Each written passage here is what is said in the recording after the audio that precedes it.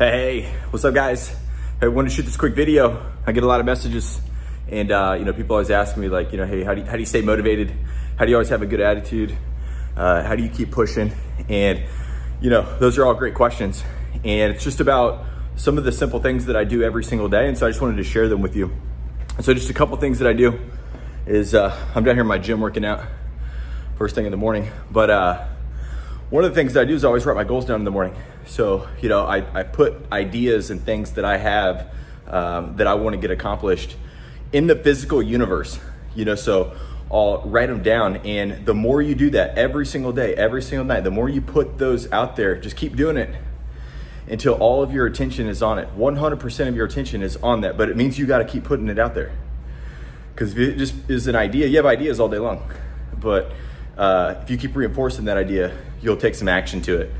Uh, some of the other things that I do, I work out every single day. You know, I'm not even the most fit guy in the world. You know, yeah, you know, I'm healthy, I'm good. Uh, I primarily do it for discipline. So I do it for discipline. I know that working out, I know that it's a stable datum for me every single day just to, you know, do the same things, get up. Uh, it allows me to be in control of my day. Really important. And uh, that's something that I would encourage you guys to definitely do. And uh, just even if it's something that you do stable every single day. Third thing, probably one of the most important, is uh, complete cycles fully.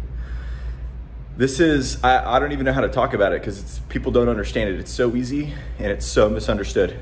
It is probably the number one thing, uh, you know, that, the, that I've learned and that I've actually witnessed myself. Cycles undone. And I'm talking everything. I'm talking about the mail that you have on your table. I'm talking about the bed that you have undone. I'm talking about the clothes that you haven't put away. I'm talking about the dirty car. I'm talking about that client that you haven't called back. I'm talking about that meeting that you haven't taken. I'm talking about that friend that you haven't talked to in a long time. All of those open cycles steal attention from you all the time, whether you even know it or not. And so if you guys really want to stay excited, you guys really want to get motivated, and you guys want to keep your attention on the future and big things and keep moving, and you know hitting the true potential that you know that you have do those three things. Just start with those. Those are simple things that i do every single day. You know number one write your goals down every single day. Make it real. Number two you get up do something. Do something stable something stable that you do every single morning that allows you to take control.